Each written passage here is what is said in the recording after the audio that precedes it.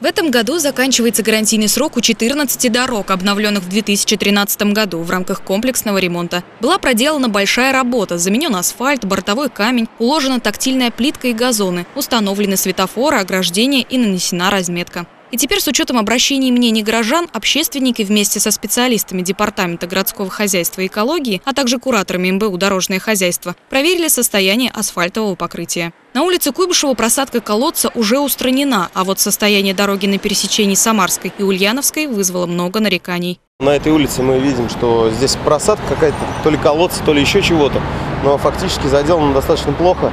А, как-то пытались, наверное, заделать, но вот это надо переделывать, это надо устранять своевременно.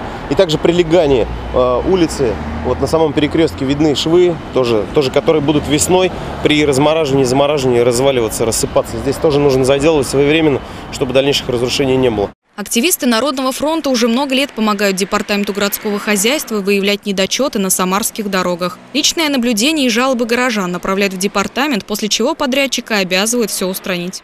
Всего 14 объектов у нас обозначено. Вот, и на всех этих объектах подрядчик до 26 числа должен устранить замечания. В противном случае департамент э, имеет право обратиться в арбитражный суд с иском. Но в основном подрядчики дело до суда не доводят. Если есть замечания, оперативно устраняют за свой счет. На данный момент в рамках гарантийных обязательств уже отремонтированы улицы Гагарина и Аменева. Впереди работы на остальных 12. Просадку колодца на пересечении Киевского и Московского шоссе подрядчик также обещает ликвидировать и взял на себя обязанность залатать отверстия от проб асфальта.